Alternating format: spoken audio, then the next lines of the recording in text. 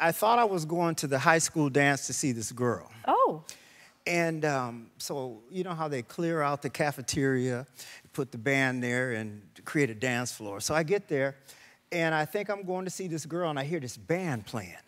And I was mesmerized. So I go over to watch the band, and I forgot all about the girl. I stood there all night. so it was Prince, Andre Cymone, Andre's sister on keyboards. And a few other members, and they were like 13, 14 years old. They were playing like they were 25 year olds. Mm.